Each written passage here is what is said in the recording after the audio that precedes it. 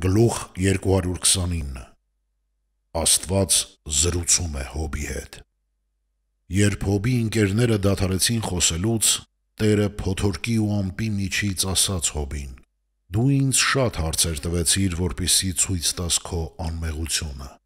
Այժմ ես եմ հարցեր տալու քեզ ու պատասխան տուր ինձ։ Որտեղ էիր դու, երբ ես երկիրն էի ստեղծում երբ աստղերը ցիրուցան եղան ու ծովը փակեցի դարպասներով։ Սահմաններ դրեցի եւ ասացի.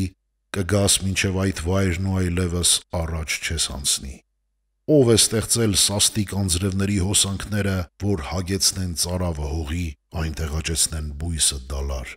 Ով է ստեղծել կենթանիներին աշխարի, նրանց համար կերակուր ստեղծել եւ ով է խոնարեցրել երկինքը երկրի վրա, հողը փոշու պես թափել ես եմ կպցրել դա ինչպես խորանարդ քարերը իրար։ Այնուհետև Տերն ասաց Հոբին.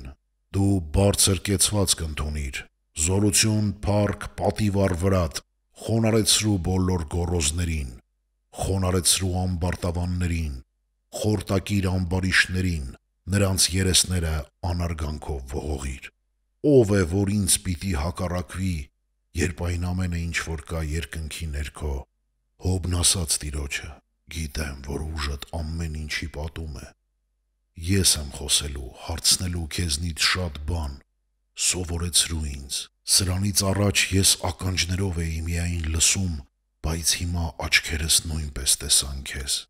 Այդ պատճառով նվաստ համարեցի ինձ ու հալվեցի։ Ինքս ինձ իբրև հող ու մոխիր եմ դիտում։ Տերը Հոբի հետ այս զրույցն ունենալուց հետո ասաց նրա երեք ընկերներին.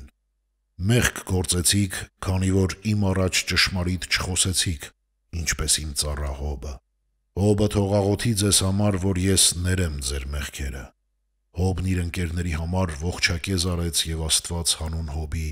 թողություն շնորհեց նրանց մեղքերին։ Տերը Հոբին կրկնակի շատ տվեց, քան այն հարստությունը, որ ուներ նա։ Հոբը 7 տղա եւ 3 աղջիկ ունեցավ։ Նա երկար ապրեց ու վախճանվեց Zara mel Toricum.